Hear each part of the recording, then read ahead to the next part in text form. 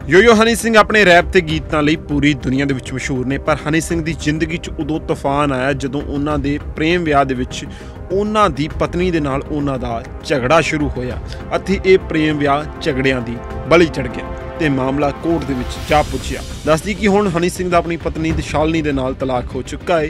ਇਸ ਤਲਾਕ ਨੂੰ ਮਨਜ਼ੂਰੀ ਦਿੰਦੇ ਹੋਏ ਦਿੱਲੀ ਦੀ ਅਦਾਲਤ ਨੇ 2.5 ਸਾਲ ਪੁਰਾਣੇ ਮਾਮਲੇ ਨੂੰ ਖਤਮ ਕਰ ਦਿੱਤਾ ਹੈ। ਕਿਹਾ ਜਾਂਦਾ ਇਸ ਸਮੇਂ ਦੇ ਨਾਲ ਰਿਸ਼ਤੇ ਵੀ ਬਦਲ ਜਾਂਦੇ ਨੇ, ਸ਼ਾਇਦ ਇਹ ਸੱਚ ਹੀ ਹੈ।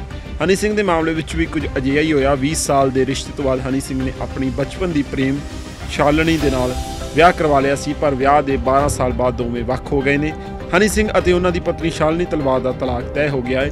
ਦਿੱਲੀ ਦੀ ਇੱਕ ਅਦਾਲਤ ਨੇ ਮੰਗਲਵਾਰ ਨੂੰ ਹਨੀ ਸਿੰਘ ਅਤੇ ਉਹਨਾਂ ਦੀ ਪਤਨੀ ਸ਼ਾਲਨੀ ਨੂੰ ਤਲਾਕ ਦੀ ਮਨਜ਼ੂਰੀ ਦੇ ਦਿੱਤੀ ਹੈ।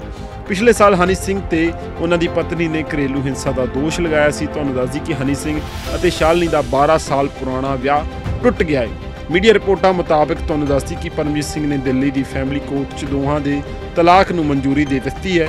ਫਿਰ ਇਹ ਫੈਸਲਾ ਦੋਹਾਂ ਧਿਰਾਂ ਦੀ ਸਹਿਮਤੀ ਤੋਂ ਬਾਅਦ ਹੀ ਲਿਆ ਗਿਆ ਹੈ। ਜਿਸ ਵਿੱਚ ਸ਼ਾਲਨੀ ਤਲਵਾਰ ਨੇ ਹਨੀ ਸਿੰਘ ਤੇ ਲੱਗੇ ਦੋਸ਼ ਵਾਪਸ ਲੈ ਲਏ ਨੇ। ਦਰਅਸਲ ਸ਼ਾਲਨੀ ਤਲਵਾਰ ਨੇ ਗਾਇਕ ਤੇ ਮਾਨਸਿਕ ਤੇ ਸਰੀਰਕ ਤੌਰ ਤੇ ਤਸ਼ੱਦਦ ਕਰਨ ਦੇ ਵਰਗੇ ਜਿਹੜੇ ਗੰਭੀਰ ਇਲਜ਼ਾਮ ਲਾਏ ਸਨ। ਇਹਨਾਂ ਦੋਸ਼ਾਂ ਕਾਰਨ ਗਾਇਕ ਨੂੰ ਕਾਫੀ ਬਦਨਾਮ ਵੀ ਕੀਤਾ ਗਿਆ ਸੀ।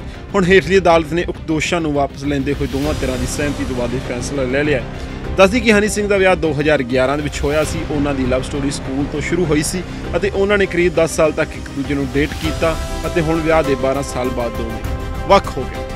ਵੀ report Daily Post Punjabi. Yo Yo Honey Singh ਆਪਣੇ ਰੈਪ ਤੇ ਗੀਤਾਂ ਲਈ ਪੂਰੀ ਦੁਨੀਆ ਦੇ ਵਿੱਚ ਮਸ਼ਹੂਰ ਨੇ, ਪਰ ਹਨੀ ਸਿੰਘ ਦੀ ਜ਼ਿੰਦਗੀ 'ਚ ਉਦੋਂ ਤੂਫਾਨ ਆਇਆ ਜਦੋਂ ਉਹਨਾਂ ਦੇ ਪ੍ਰੇਮ ਵਿਆਹ ਦੇ ਵਿੱਚ ਉਹਨਾਂ ਦੀ ਪਤਨੀ ਦੇ ਨਾਲ ਉਹਨਾਂ ਦਾ ਝਗੜਾ ਸ਼ੁਰੂ ਹੋਇਆ। ਅਤੇ ਇਹ ਪ੍ਰੇਮ ਵਿਆਹ ਝਗੜਿਆਂ ਦੀ ਬਲੀ ਚੜ ਗਿਆ ਤੇ ਮਾਮਲਾ ਕੋਰਟ ਦੇ ਵਿੱਚ ਜਾ ਪੁੱਜਿਆ। ਦੱਸਦੀ ਕਿ ਹੁਣ ਹਨੀ ਸਿੰਘ ਦਾ ਆਪਣੀ ਪਤਨੀ ਦਿਸ਼ਾਲਨੀ ਦੇ ਨਾਲ ਤਲਾਕ ਹੋ ਚੁੱਕਾ ਹੈ। ਇਸ ਤਲਾਕ ਨੂੰ ਮਨਜ਼ੂਰੀ ਦਿੰਦੇ ਹੋਏ ਦਿੱਲੀ ਦੀ ਅਦਾਲਤ ਨੇ 2.5 ਸਾਲ ਪੁਰਾਣੇ ਮਾਮਲੇ ਨੂੰ ਖਤਮ ਕਰ ਦਿੱਤਾ ਹੈ। ਕਿਹਾ ਜਾਂਦਾ ਇਸ ਸਮੇਂ ਦੇ ਨਾਲ ਰਿਸ਼ਤੇ ਵੀ ਬਦਲ ਜਾਂਦੇ ਨੇ। ਸ਼ਾਇਦ ਇਹ ਸੱਚ ਹੀ ਹੈ। ਹਨੀ ਸਿੰਘ ਦੇ ਮਾਮਲੇ ਵਿੱਚ ਵੀ ਕੁਝ ਅਜਿਹਾ ਹੀ ਹੋਇਆ। 20 ਸਾਲ ਦੇ ਰਿਸ਼ਤੇ ਤੋਂ ਬਾਅਦ ਹਨੀ ਸਿੰਘ ਨੇ ਆਪਣੀ ਬਚਪਨ ਦੀ ਪ੍ਰੇਮ ਸ਼ਾਲਣੀ ਦੇ ਨਾਲ ਵਿਆਹ ਕਰਵਾ ਲਿਆ ਸੀ, ਪਰ ਵਿਆਹ ਦੇ 12 ਸਾਲ ਬਾਅਦ ਦੋਵੇਂ ਵੱਖ ਹੋ ਗਏ ਨੇ। ਹਨੀ ਸਿੰਘ ਅਤੇ ਉਹਨਾਂ ਦੀ ਪਤਨੀ ਸ਼ਾਲਨੀ ਤਲਵਾਰ ਦਾ ਤਲਾਕ ਤੈਅ ਹੋ ਗਿਆ ਹੈ। ਦਿੱਲੀ ਦੀ ਇੱਕ ਅਦਾਲਤ ਨੇ ਮੰਗਲਵਾਰ ਨੂੰ ਹਨੀ ਸਿੰਘ ਅਤੇ ਉਹਨਾਂ ਦੀ ਪਤਨੀ ਸ਼ਾਲਨੀ ਨੂੰ ਤਲਾਕ ਦੀ ਮਨਜ਼ੂਰੀ ਦੇ ਦਿੱਤੀ ਹੈ। ਪਿਛਲੇ ਸਾਲ ਹਨੀ ਸਿੰਘ ਤੇ ਉਹਨਾਂ ਦੀ ਪਤਨੀ ਨੇ ਘਰੇਲੂ ਹਿੰਸਾ ਦਾ ਦੋਸ਼ ਲਗਾਇਆ ਸੀ। ਤੁਹਾਨੂੰ ਦੱਸਦੀ ਕਿ ਹਨੀ ਸਿੰਘ ਅਤੇ ਸ਼ਾਲਨੀ ਦਾ 12 ਸਾਲ ਪੁਰਾਣਾ ਵਿਆਹ ਟੁੱਟ ਗਿਆ ਹੈ। ਮੀਡੀਆ ਰਿਪੋਰਟਾਂ ਮੁਤਾਬਕ ਤੁਹਾਨੂੰ ਦੱਸਦੀ ਕਿ ਪਰਮਜੀਤ ਸਿੰਘ ਨੇ ਦਿੱਲੀ ਦੀ ਫੈਮਿਲੀ ਕੋਰਟ 'ਚ ਦੋਹਾਂ ਦੇ ਤਲਾਕ ਨੂੰ ਮਨਜ਼ੂਰੀ ਦੇ ਦਿੱਤੀ ਹੈ। ਫਿਰ ਇਹ ਫੈਸਲਾ ਦੋਹਾਂ ਧਿਰਾਂ ਦੀ ਸਹਿਮਤੀ ਤੋਂ ਬਾਅਦ ਹੀ ਲਿਆ ਗਿਆ ਹੈ। ਜਿਸ ਵਿੱਚ ਸ਼ਾਲਨੀ ਤਲਵਾਰ ਨੇ ਹਨੀ ਸਿੰਘ ਤੇ ਲੱਗੇ ਦੋਸ਼ ਵਾਪਸ ਲੈ ਲਏ ਨੇ। ਦਰਅਸਲ ਸ਼ਾਲਨੀ ਤਲਵਾਰ ਨੇ ਗਾਇਕ ਤੇ ਮਾਨਸਿਕ ਤੇ ਸਰੀਰਕ ਤੌਰ ਤੇ ਤਸ਼ੱਦਦ ਕਰਨ ਦੇ ਵਰਗੇ ਜਿਹੜੇ ਗੰਭੀਰ ਇਲਜ਼ਾਮ ਲਾਏ ਸਨ, ਇਹਨਾਂ ਦੋਸ਼ਾਂ ਕਾਰਨ ਗਾਇਕ ਨੂੰ ਕਾਫੀ ਬਦਨਾਮ ਵੀ ਕੀਤਾ ਗਿਆ ਸੀ।